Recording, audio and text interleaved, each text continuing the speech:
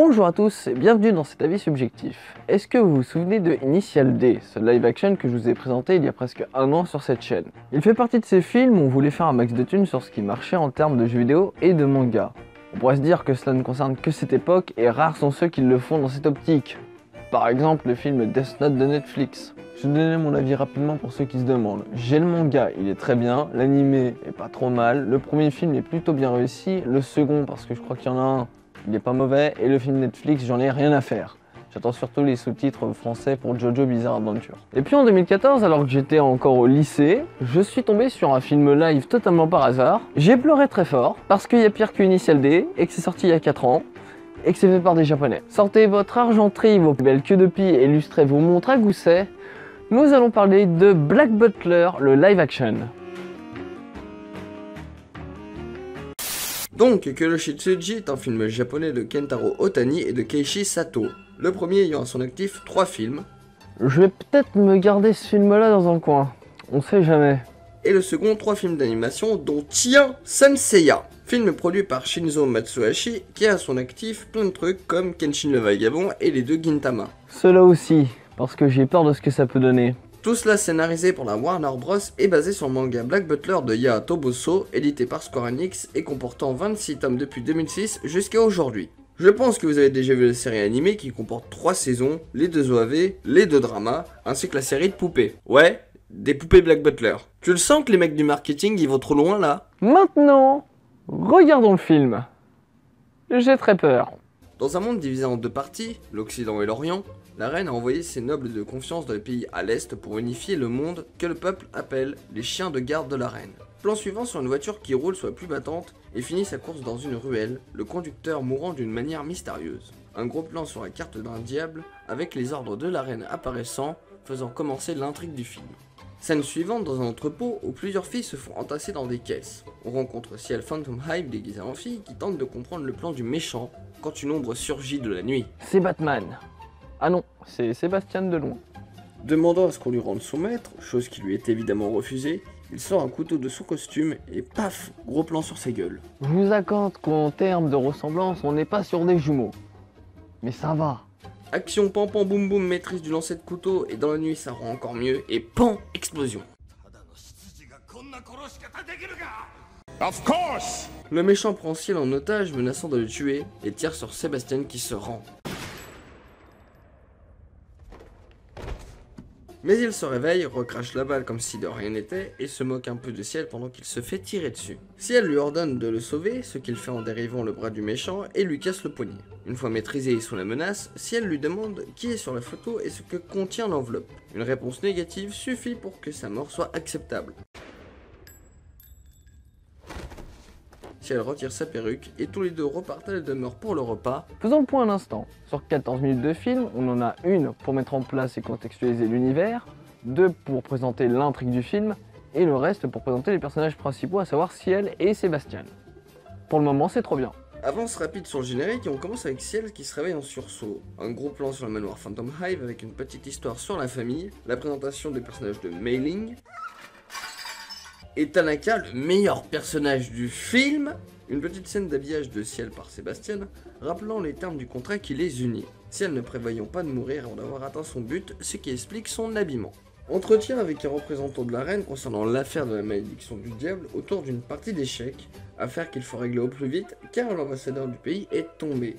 Un rappel de l'histoire sur cette affaire est fait par Sébastien autour des multiples victimes de la malédiction, ainsi que des métaphores très douteuses sur ses capacités,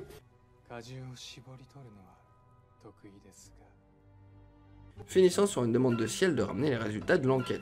Pendant ce temps, dans le bureau de la sécurité nationale, on nous présente le personnage de Tokizawa, l'inspecteur chargé des étranges morts des mafieux du début, indiquant qu'un homme seul en queue de pie les aura tous tués, appuyant ses propos avec un bouton retrouvé sur le quai, bouton avec l'emblème des chiens de garde de la reine.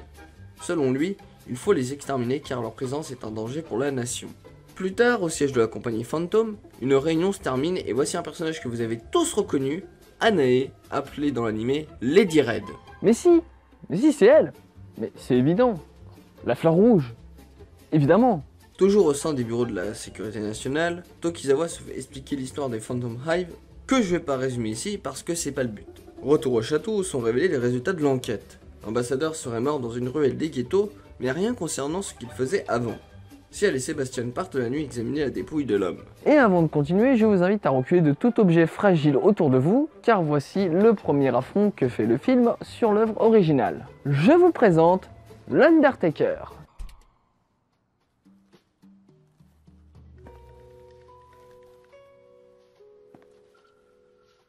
Alors, par quoi commencer? Fossoyeur. Non masculin. Personne qui s'occupe en général des tombes. Un fossoyeur. Le fossoyeur. Mot anglais pour fossoyeur. Undertaker. L'Undertaker. L'Undertaker. Ça, c'est de la merde. Bref, ils inspectent le corps amené par celui-ci et arrêtez de montrer que c'est l'Undertaker. Ils trouvent un morceau de cigare coincé ses dents ainsi qu'un mouchoir taché de vin. Sébastien relie ces deux indices et conclut qu'il était ivre quand il a fumé. Il se voit donc chercher où on peut trouver ces deux éléments particuliers ensemble, ce qu'il arrive à faire en 10 secondes grâce à la magie du scénario, un club haut de gamme qu'on ne peut accéder uniquement en étant recommandé par quelqu'un. Si elle pense que Anae connaît quelques personnes sur la liste des participants et pourrait l'aider à obtenir la dite invitation. Ce qu'il fait le lendemain autour d'un repas, mais pendant celui-ci, Anae fait une attaque qu'elle soigne par un médicament donné par son majordome. Arrivé au dessert, Mei Ling se précipite pour prendre un plat vide, mais renverse les médocs, perd l'équilibre et un verre d'eau tombe. Mais c'était sans compter sur Sébastien qui utilise son stand.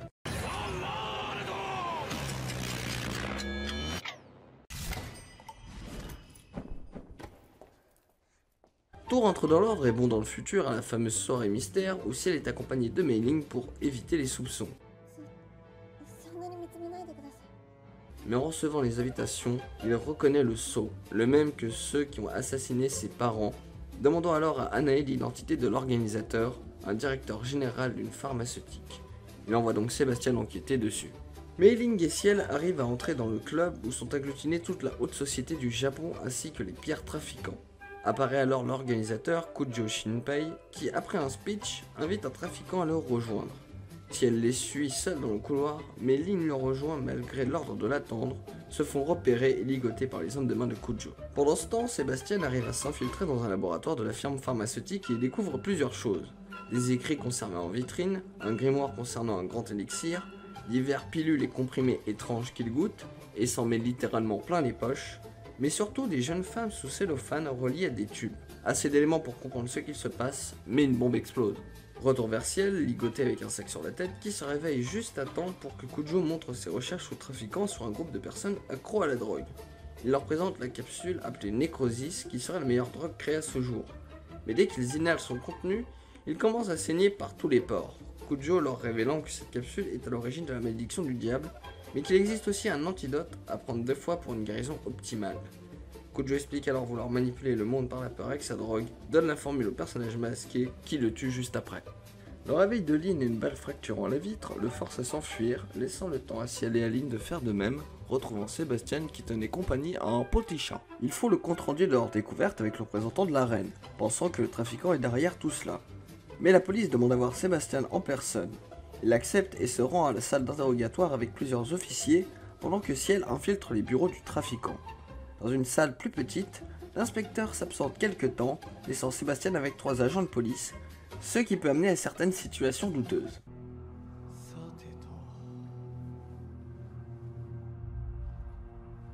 Bien sûr que c'est un plan pour tuer Sébastien, un plan qui ne marche pas du tout.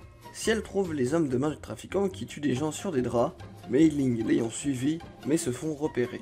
Se faisant traîner sur le drap, il reconnaît le corps du trafiquant, ce qui contredit tout ce qui a été trouvé, pensant que toutes les mises en scène sont là pour avoir une répression mondiale, que le fait qu'il soit encore en vie est pour renforcer les soupçons sur le trafiquant, ainsi que la possibilité d'utiliser le nécrosis à plus grande échelle, chose qui pourrait être aujourd'hui car les grands de ce monde se réunissent pour une cérémonie spéciale. Et tout ça en 10 secondes. Il est fort ce petit. Ça prétend subir le même sort que toutes les autres personnes, mais Ling change subitement d'état en faisant tomber ses lunettes et réalise du headshot à la pelle. Elle révèle alors sa véritable utilité pour le film, à savoir protéger les Phantom Hive depuis sa naissance. Et maintenant, soyez prêts pour la révélation la plus nulle et la plus pétée de tout ce film.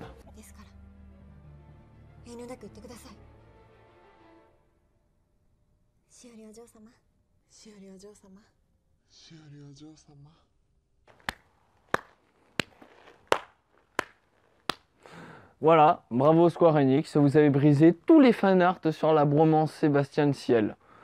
Maintenant, prenons ça en compte et renommons le personnage Ciel. Ordonnant à Ciel Le de s'enfuir en faisant diversion, Lynn nous montre réparti tout l'argent du film dans une scène de flingue sous fond de musique classique, jusqu'à ce que,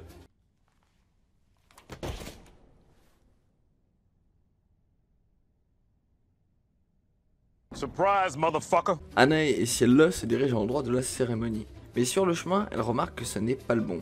Anae lui précisant l'inverse et braquant une arme sur elle aux armoiries du serpent. Dans une sorte d'entrepôt désaffecté, Ciel se fait entraîner par Anae et son majordome qui révèlent leur plan, notamment que c'est elle qui a tué Kujo, que dans 30 minutes une bombe momifiera l'ensemble des personnes dans un rayon d'un kilomètre, et que la photo prise juste avant sera publiée pour la dénoncer au lieu de faire porter le chapeau aux trafiquants. Elle connaît aussi le pacte qui unit Sébastien à Ciel qu'elle considère comme une malédiction de la famille.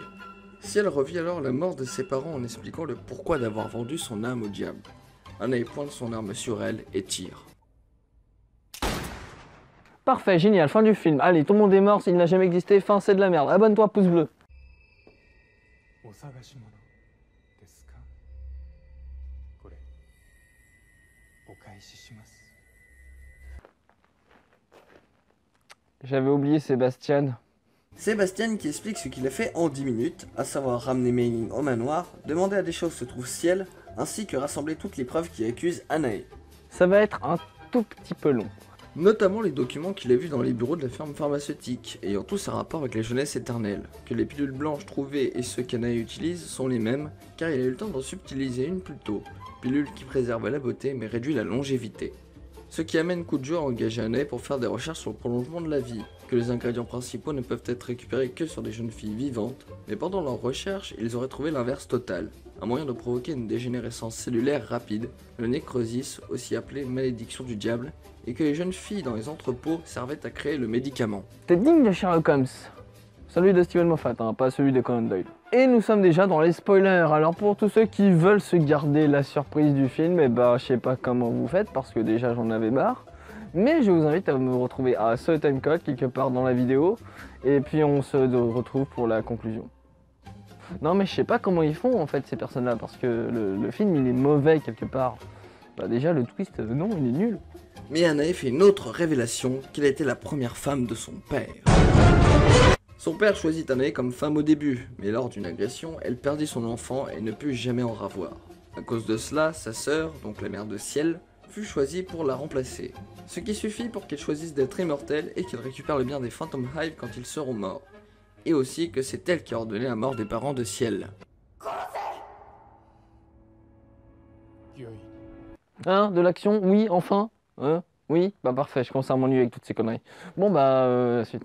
Le combat final sera entre Sébastien et le majordome d'Anae, que je vais renommer Akashi parce que c'est son prénom, bourré de drogue pour l'augmenter physiquement. Ça se lance des plaques, ça joue avec une canne, et il parvient à blesser Sébastien. Un instant, je suis Jean-Michel Fouraccord et je tiens à dire qu'il y a un fort accord entre le moment où Sébastien se prend le coup et le moment où il se rend compte de sa blessure. Voilà, c'est tout. Salut Un combat avec une bonne chorégraphie cependant, jusqu'à la maîtrise de Sébastien sur Akashi. Mais un chantage d'Anae fait changer la donne. Ciel tente de frapper Anae, échoue dans son action, mais pas vraiment car dans sa main contenait une pilule de nécrosis. Et en plus, Ciel a dérobé les antidotes qu'il gardait lorsque Sébastien est arrivé plus tôt et les écrase devant elle. Mais Akashi possède aussi des antidotes, qui ont été subtilisés par Sébastien pendant leur combat, et les avale au calme. Dans la folie d'Anae qui suit, Ciel ramasse son arme et Sébastien fait de la magie, Et tue Akashi dans une sorte de harakiri assisté. Anae supplie de la soigner, mais elle préfère sauver Ciel en lui donnant deux comprimés qu'il a gardés. Mais elle refuse, se confrontant à Anae sur l'entièreté de l'histoire derrière la mort de son père. Elle décide alors de la sauver en lui donnant une pile d'antidote de Sébastien, mais ça alors, Anae redevient méchante et s'empare des deux en les avalant. Et puis,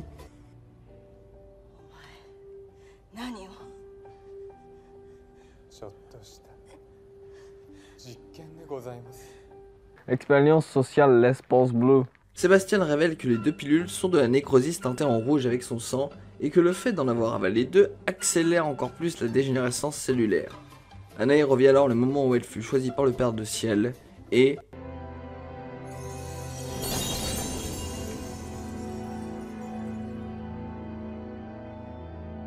Mais dans tout cela, la bombe est toujours active, et Ciel ne parvenant pas à ouvrir la mallette, la transporte au sommet du bâtiment sous le regard de Sébastien qui trash talk sur ses gueules et refuse de l'aider. Arrivé au sommet, Ciel trouve enfin le code d'ouverture de la mallette, lance la bombe et protège la capsule de nécrosis de l'onde de choc. On a ensuite droit à une petite discussion entre Sébastien et Ciel juste avant sa mort à cause du nécrosis, mais Sébastien possède encore des pilules d'antidote qu'il met dans sa bouche et donne ou embrasse Ciel, c'est comme vous voulez.